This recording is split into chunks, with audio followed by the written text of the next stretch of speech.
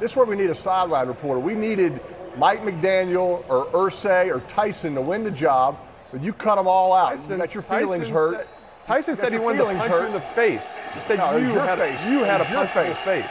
No, no.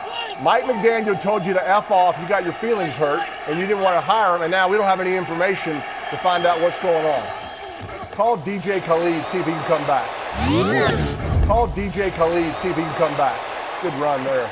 É o